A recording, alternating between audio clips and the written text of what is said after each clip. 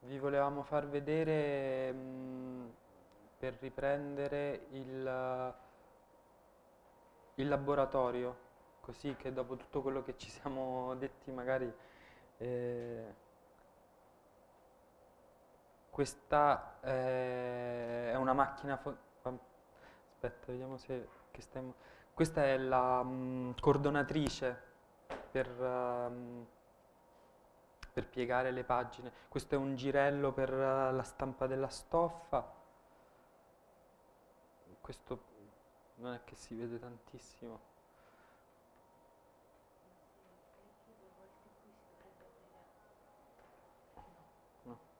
Questa è la pressa, questa è la macchina, la semiautomatica che stampa il 6294. La taglierina e questa è la vasca dove si fa l'incisione e lo sviluppo dei, dei telai. E, mm, no, una cosa che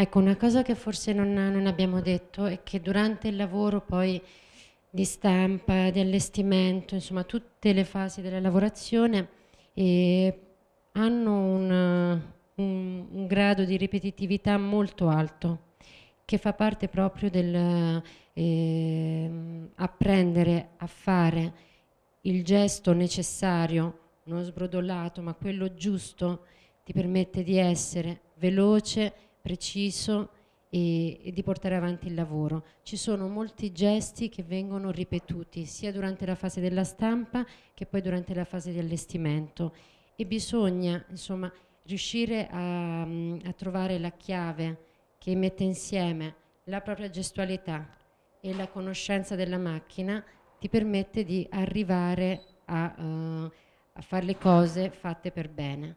E dico che bisogna conoscere i propri strumenti perché ogni strumento che voi avete visto lì nel, nelle foto ha delle caratteristiche. Abbiamo imparato per esempio che mettere il foglio dal lato destro della cordonatrice proprio preciso fa tagliare il, il foglio e non lo fa piegare e quindi lì c'è una conoscenza dello strumento che tu hai a disposizione che è, che è arrivata abbiamo capito che per mettere al registro, ovvero posizionare eh, la carta sempre nella stessa giusta posizione, eh, in maniera precisa perché poi se no il secondo colore non va eh, messo per bene e così il terzo colore non, non si ritrova nella, nella, giusta posizione, significa anche imparare a capire il proprio corpo che tipo di gestualità deve fare.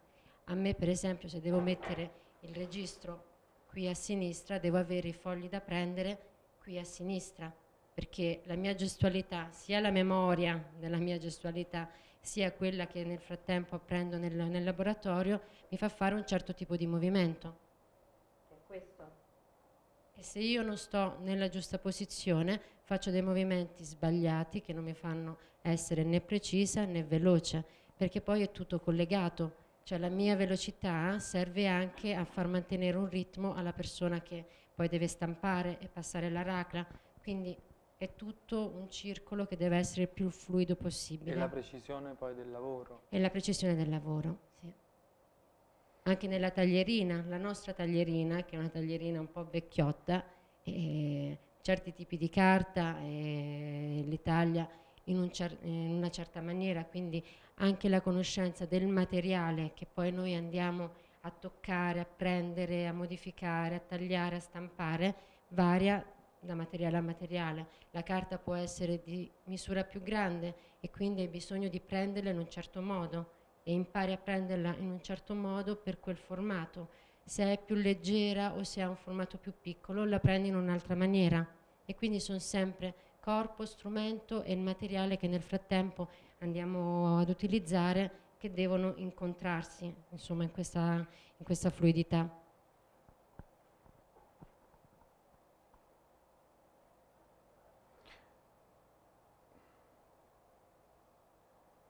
Questo per esempio è, mm, è la- la- quando abbiamo stampato Re Tigre, questo qui che vedete è, un, è un- è il- un telaio di un colore ed è il momento dello sviluppo del, te- del telaio, quindi il telaio è stato inciso, questo è, è stato messo in macchina e c'è la stampa del primo colore. Ed è qui che avviene quello che dice Chiara del movimento, perché c'è eh, uno che dà il comando di stampa, ma c'è quello che mette il registro, c'è quello che toglie, che controlla la, la stampa. C'è un, un rapporto fortissimo tra, tra occhio, mano e testa. È proprio questa, questo rapporto si rinsalda moltissimo nel lavoro artigianale, che chiaramente poi dà dei segnali specifici anche proprio alla propria anima, cioè chiaramente non è, è tutto, non è disgiunto ma è tutto eh, unito. Ed è interessante quello che diceva Chiara, che tu devi conoscere le caratteristiche del tuo corpo, della tua gestualità, per metterle in sintonia con quelle della macchina, con le caratteristiche della macchina, perché il lavoro sia fatto velocemente ma precisamente e che tu riesca a gestire la ripetizione del gesto. Perché tu fai un gesto migliaia di volte, non decine di volte, ma migliaia di volte. Le battute di stampa di rettigre sono qualcosa di 14.000 battute di stampa, cioè per 14.000 volte noi abbiamo ripetuto la stessa operazione. E così succede quando devi rifilare, quando devi cucire, quando devi mettere in macchina, quando devi contare i fogli, eccetera. No? Ma questo fa parte dell'apprendimento e dell'esercizio del mestiere. Non è una cosa noiosa, ma è, è il mestiere. Ed è lì che apprendi fondamentalmente e c'è tutto un enorme rapporto mh, per noi interessantissimo sull'autoeducazione, perché tutta autoeducazione ha la concentrazione e alla sintonia de, de, della gestualità e della cooperazione in gruppo, perché facciamo operazioni diverse che vengono prima o dopo quella dell'uno e dell'altro. Se io faccio bene un'operazione, metto nelle condizioni chi viene dopo di me di continuare a fare bene quella cosa, ma se io ho, ho tagliato male la carta perché l'ho fatto distrattamente, senza cura necessaria, farò fare una stampa sbagliata a chi viene dopo e manderò all'aria il lavoro di, di tutti. Quindi ci deve essere, cioè veramente quella che si chiama cooperazione nel lavoro in un laboratorio artigianale è essenziale. Uno per arrivare al risultato, due per non buttare soldi e tempo, perché poi buttare carta, colori, eccetera, giornate di lavoro è, non è solo un, un discorso etico, è un discorso economico anche. Ehm, vabbè, questo un po' per farvi entrare nel laboratorio, anche se non abbiamo immagini che... Queste sono le, le foto dei, dei delle, delle, taniche di colore in, in, in preparazione. E... Ehm, va bene, facciamo oh, che chiudiamo questa cosa. Um, vi facciamo eh, vedere adesso queste cartelle che abbiamo preparato, Comincia da, cominciamo da Agostino. E, ehm, così per, perché mh, mm, non sapevamo se saltarla questa parte e passare alla proposta e al laboratorio, però visto che ci sembra che le domande che avete fatto sono anche molto specifiche rispetto a come si illustra per eccetera, qui vi vogliamo far vedere mh, una serie di passaggi ipermanuali nella preparazione di un'immagine per la serigrafia fino invece al lavoro di Mara che invece è stato semplicemente un disegnare, scansionare e lavorare su Photoshop per canali per creare la separazione dei colori e delle pellicole.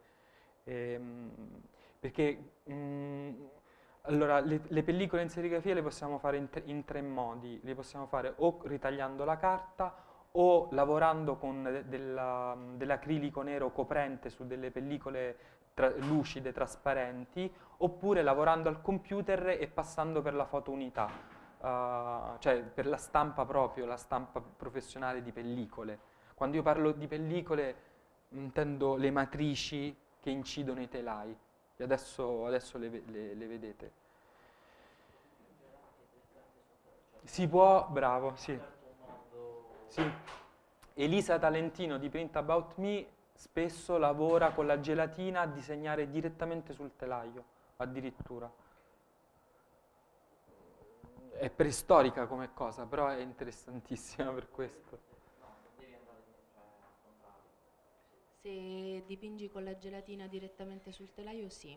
Cioè tu devi coprire quello che non vuoi che venga eh, inciso. Invece questa, mh, queste, queste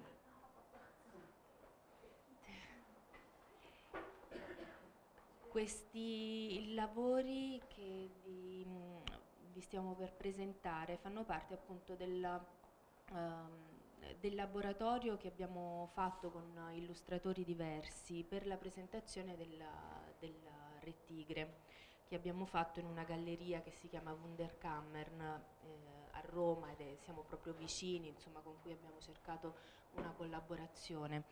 Eh, noi abbiamo proposto a 9-10 illustratori, disegnatori eh, di partecipare a questo laboratorio e di lavorare direttamente eh, su pellicola con l'acrilico. Um, la gran parte, se non tutti, di queste persone non avevano mai lavorato in serigrafia. L'unico appunto forse che um, la conosceva era proprio Agostino Iacurci, che è un, uno street artist anche molto ormai affermato, e, um, che appunto per vicinanza anche alla, tecnica no, dello stencil che di solito si usa per fare i graffiti, insomma il, il lavoro di, dei murales, così mh, mm, mh, mm, riusciva ad avere uh, un'immaginazione forse un po' più precisa. Lui infatti ha lavorato con degli stencil, cioè si è fatto, ecco, ehm, ha, fatto, ha, lavorato ehm, sulla sua bozza al computer e poi ha fatto dei disegni sul formato di carta e si è ritagliato poi le mascherine ehm, che gli potevano, che, insomma, per il suo Qui lavoro. Lo, vedi, lo vedono qua adesso. Ecco, infatti, e lui ha lavorato con dei rulli ha lavorato in maniera anche molto, molto veloce. E questa è la produzione delle sue pellicole. Adesso sono state messe l'una sull'altra perché ovviamente una pellicola deve andare a registro sull'altra perché la, il risultato della stampa è questo. Lui non ha lavorato con trasparenze ma per campiture di colore.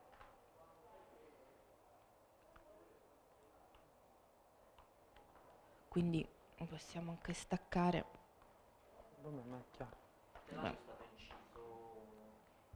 Ogni pellicola ha un suo telaio. Sì, sì. l'incisione ovviamente mh, anche in questo l'incisione eh, deve tener conto del, del fatto che, non, che mh, pur essendo un acrilico nero, ehm, guardandolo contro luce, eh, qui vediamo che ci sono dei, dei grigi e quindi... Sì.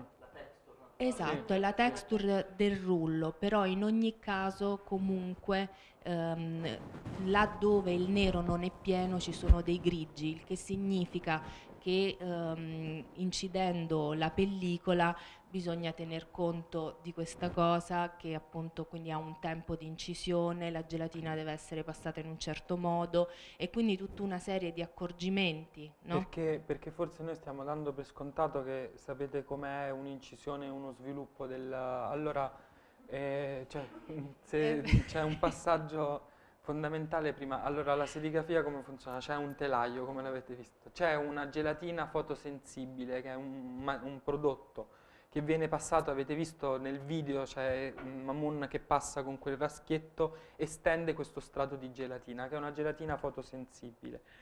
Ehm, per cui in origine il telaio è come l'avete visto nel kit, dove c'è la tela di nylon, viene passata questa gelatina, viene essiccata al forno, dopodiché perché noi abbiamo bisogno di matrici, pellicole di nero coprente? Perché questa pellicola qua, la prima pellicola del primo colore, viene posizionata sopra il telaio e viene messa in una macchina che si chiama bromografo che lavora con delle lampade UV. Le lampade UV che cosa fanno? Si accendono in un tempo di incisione determinato da noi, da, da chi deve incidere, può essere un minuto, un minuto e mezzo, due minuti, la luce batte contro la gelatina e catalizza, incide la gelatina che, che, vede. La gelatina che è coperta dal nero della matrice non viene toccata dalla luce e non viene catalizzata chimicamente. Per questo che poi avete visto nelle immagini di rettigre che il telaio viene messo in una vasca di sviluppo con l'acqua, perché la gelatina che non è stata catalizzata dalla luce viene sviluppata dall'acqua, ovvero cade dal telaio e mi ripropone esattamente l'immagine che io ho fatto al positivo, dove passerà il colore. Per esempio di questo, questa parte qui e questa parte qui sono quelle che sono state incise, incise. hanno eh, il nero coprente e infatti qua è aperto e noi abbiamo scelto, lui ha scelto di metterci il giallo, ma queste sono maglie del telaio che non sono state toccate dalla luce e che quindi poi sono rimaste libere per far passare il, il colore. colore. Non sono state toccate dalla luce perché questo era un nero coprente. Quindi rimangono aperte e lì passerà il colore su tutto il resto, o invece c'è la gelatina e il colore non, non, non passa.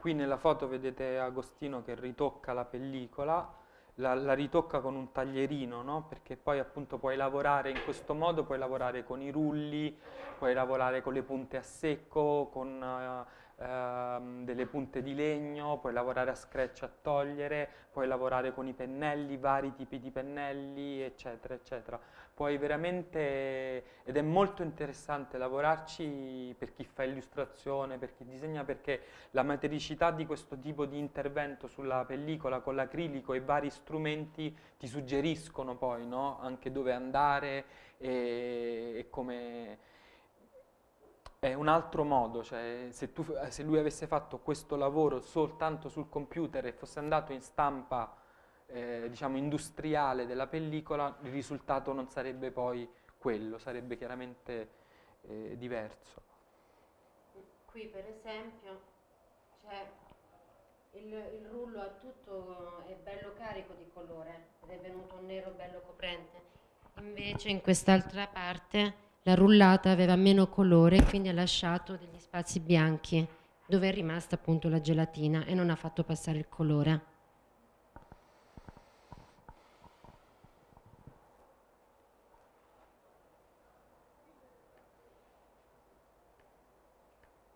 E forse detto questo è anche sufficiente, passiamo a Mara, perché poi gli altri sono un po' ripetitivi su questa Sì, si vede tecnica. semplicemente il, mm, vabbè, la, le, Mm? le differenze, le, peculiari- le peculiarità di ognuno che hanno preferito appunto la- lavorare o col pennello oppure eh, quello che vedete rosso è un, è un pennarello serigrafico, quindi è rosso ma è mm, coprente e quindi ognuno di loro ha lavorato o a rullo o appunto come diceva Marco con, andando a togliere, a rifinire, a fare anche delle cose molto, molto minuziose molto sottili.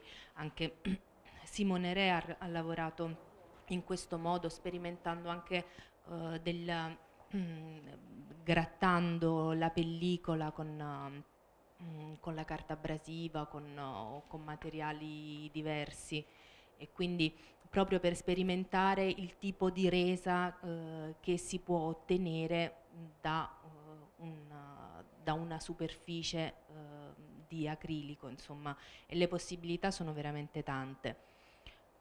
Qui nelle immagini che, che, che, potete vedere è il lavoro di Alicia Baladan, questo era il bozzetto che lei si era portata e poi piano piano ha cominciato a ricostruirlo sulle pellicole, anche qui vedete eh, l'uso dei rulli, eh, delle punte, mm. pennello e piano piano si sta creando l'immagine e, mh, Adesso quello che, che si può aggiungere di questo percorso è che mh, loro oh, mh, de- destrutturando l'immagine e ricomponendola per due colori, eh, senza averlo mai fatto, quello che è, su- che è sempre successo è che allora, è sempre, se, se tu fai un'immagine per due colori, è sempre il secondo colore che ti dà la verità della tua immagine, cioè che definisce quello che hai fatto, crea le sovrapposizioni e quindi l'altro colore, altre forme, eccetera. Il primo colore non ti rendi conto se hai ragionato nel verso giusto, se funzionerà quell'immagine.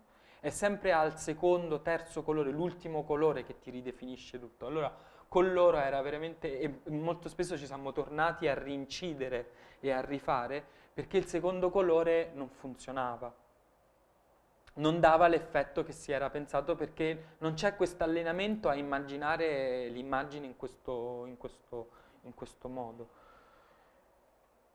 Ehm,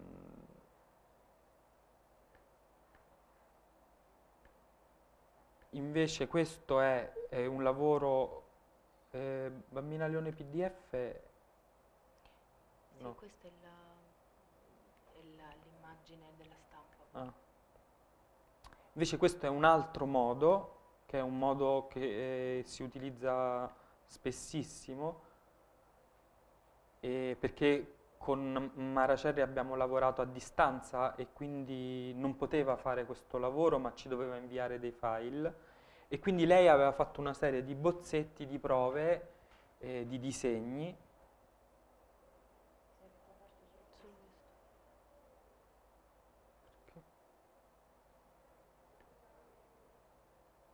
Scusate.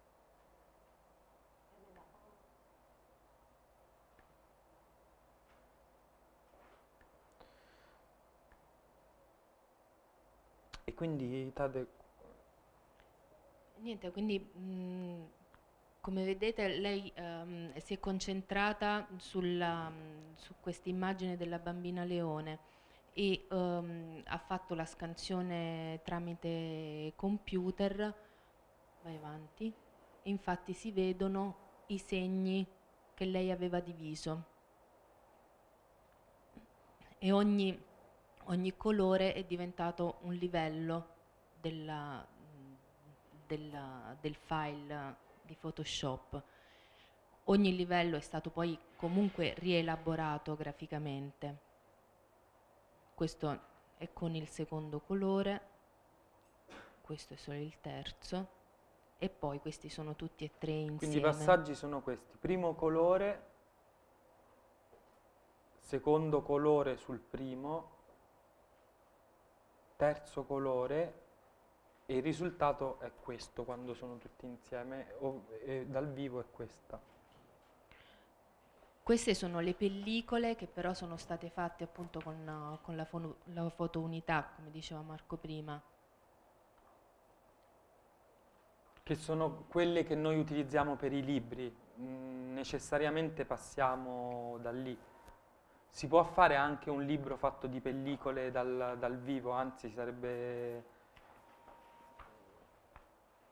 però è un altro tipo di lavoro, cioè l'illustratore sta in, in laboratorio a, a, lavorare. Va bene, io mm, mi fermerei, mi fermerei qui. E... Cosa? Delle immagini di laboratori. Ehm, laboratori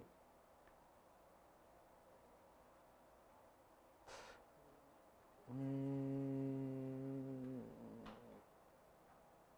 non, non ci abbiamo però no vabbè okay. allora ehm, No, voglio dire che l'ultima cosa è che quello che hanno fatto loro praticamente è il contrario di quello che andremo a fare noi. cioè loro hanno lavorato a disegnare e a fare appunto la cosa, il disegno sul, sulla pellicola, noi andremo a togliere dal, dal foglio ok? Eh, sarà la, la stessa cosa, arriveremo più o meno allo stesso risultato, però in un altro, in un altro modo.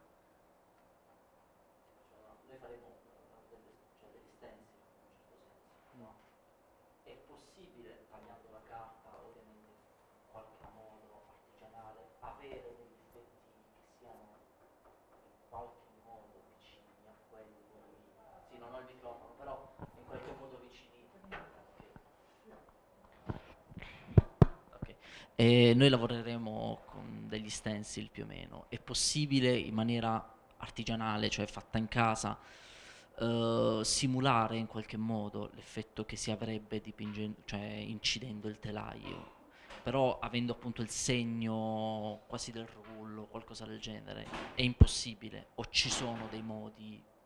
Non so se è chiara la domanda. Con il ritaglio della carta? Sì. O simulando in qualche modo, non so cioè non si può andare ad incidere tratto per tratto, cioè la carta è da, è da pazzi, però avere che so, simulare l'effetto del passaggio del rullo, non so, mi viene così, mm. com'è possibile farla bruciandola, non lo so, ci sono dei, sono stati fatti degli esperimenti, non lo so, degli esperimenti a riguardo, non lo so. Beh, lo possiamo provare oggi. no, quello che si può fare, cioè, su una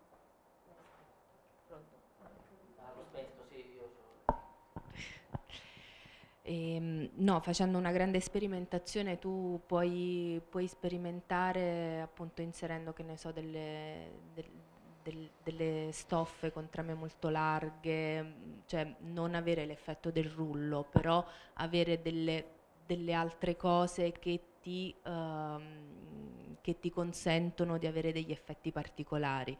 Con il ritaglio della carta tu hai un effetto abbastanza netto, anche se molto particolareggiato, quindi proprio il rullo mh, con il ritaglio no, però hai eh, in ogni caso mh, una, un livello di definizione molto alto. E quindi poi insomma dipende da quello che vuoi fare, è tutta sperimentazione che insomma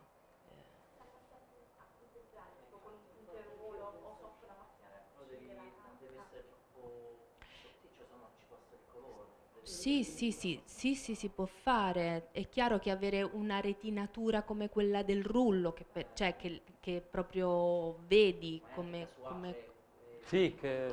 Ma, mh, mm, ma infatti cioè, questo è l'invito insomma, a, ad essere quanto più liberi di, di sperimentare possibile, ovviamente nel, eh, in un tempo che...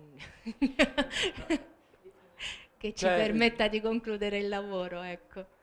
Nel senso che eh, questo che avete visto è un altro tipo di, di, lavoro.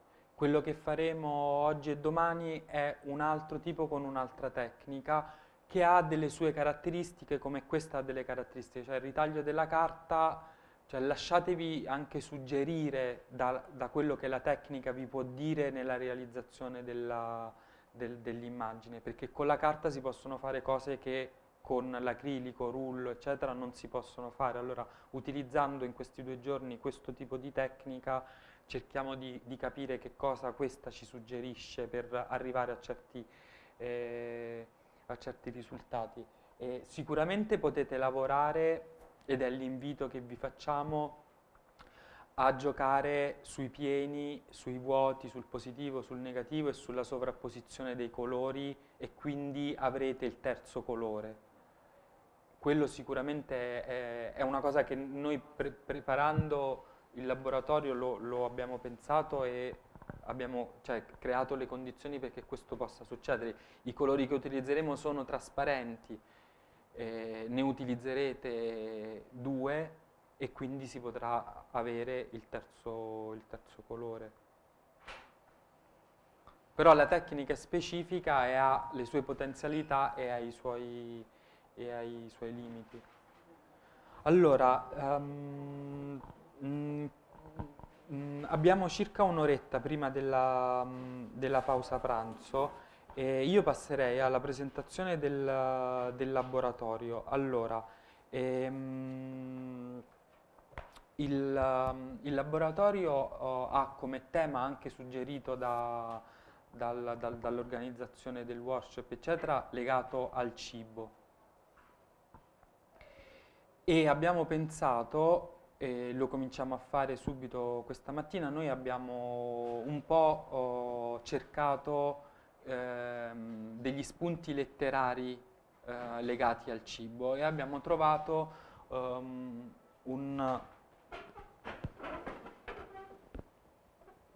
Vi proporremo um, alcune, alcune, alcuni testi eh, tratti da uh, questo libro che peraltro poi guardatelo perché è un libro meraviglioso proprio come oggetto libro stampato tutto in caratteri mobili e Mangiare di Walter Benjamin sono una serie di racconti legati al, al cibo, suoi incontri con il cibo.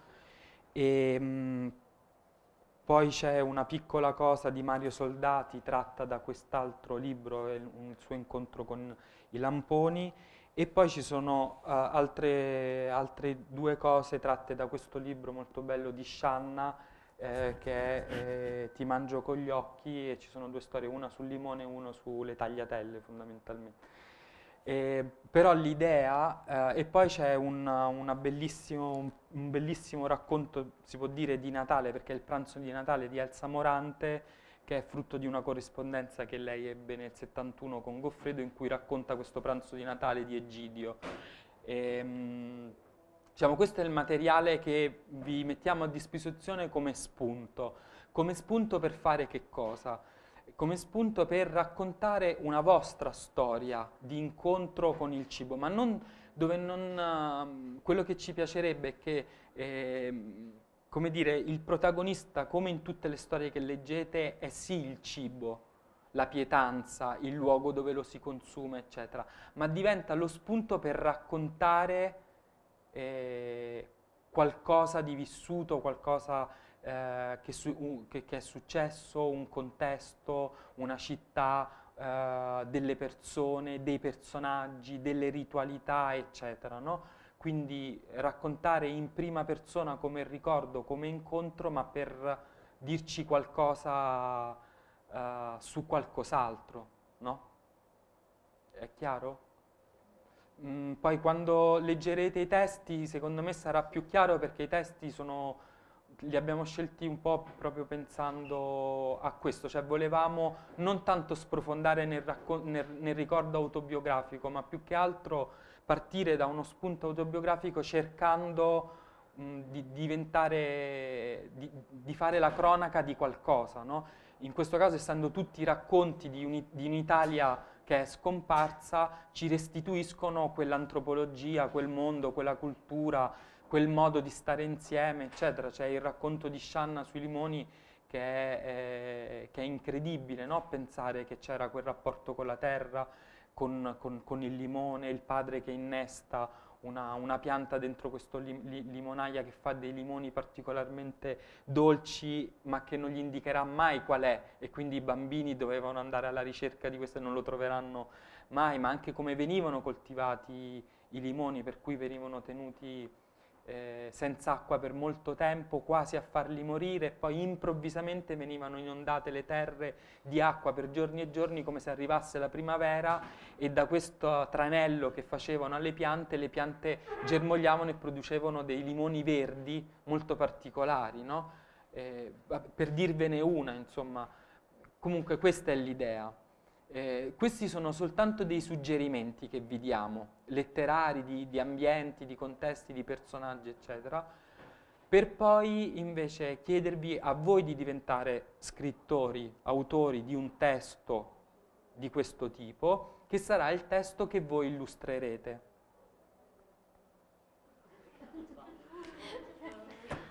Allora, no, un mese, ci abbiamo fino a domani. E visto che lo abbiamo già fatto e ci si è riusciti, ci si può riuscire anche qua. Allora, l'oggetto libro è questo. E, ehm, questa è la nostra, la, nost- la nostra copertina. Abbiamo una, una, pagina di frontespizio. Noi l'abbiamo calcolata per 17 persone, quindi adesso siamo di meno, le, dobbiamo ricalcolare la foliazione. Però qui avete Ehm, la struttura è, è un po' è come radici animali, quindi abbiamo il vostro testo. Questo per esempio è il testo 1 corrispondente all'illustrazione 1, quindi qui ci sarà il vostro racconto e qui la vostra illustrazione a due colori. E così, eh, e così via, testo 2 e testo, testo 3. Ok? Quindi saranno circa 3 o 4 quartini stampati bianca e volta a due colori. Quindi do- domani è fronte e retro, domani è tutta una giornata di stampa e di rilegatura. Oggi è di scrittura e di produzione delle...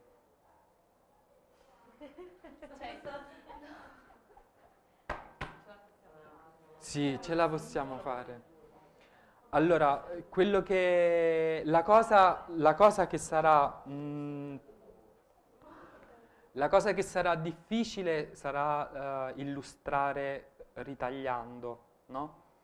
Eh, sarà più difficile forse, però su quello veramente vi invitiamo al gioco, il gioco serio, però gioco, cioè non, uh, siamo in due giornate di lavoro, praticamente una e mezzo, L'obiettivo è quello di farvi sperimentare una tecnica e confrontarvi con un oggetto che ha delle sue regole, eh, non quello di essere pienamente soddisfatti della propria illustrazione. Eh, quindi, mh, mm, insomma, gli dedicheremo almeno due orette oggi per farla e due orette per, per scrivere, però oh, oggi concludiamo questa parte e domani andiamo in stampa.